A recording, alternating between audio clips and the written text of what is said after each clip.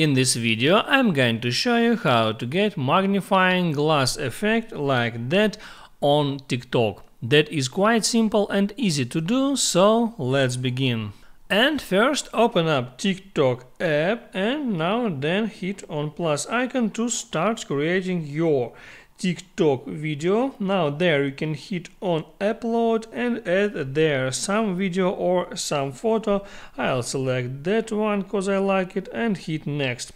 Now here I can hit there on stickers in order to add magnifying glass effect of course and there I have to find for that sticker it looks like that and if I add that here I see the magnifying effect.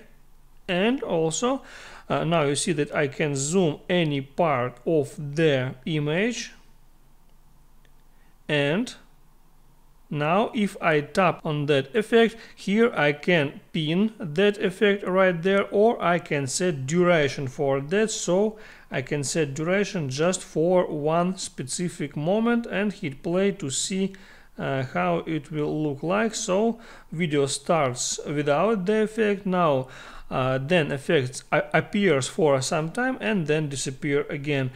And now you know how to add magnifying glass effect so now you can continue creating that video as you normally would and add some more effects here. And of course don't forget to hit the like button and subscribe to my channel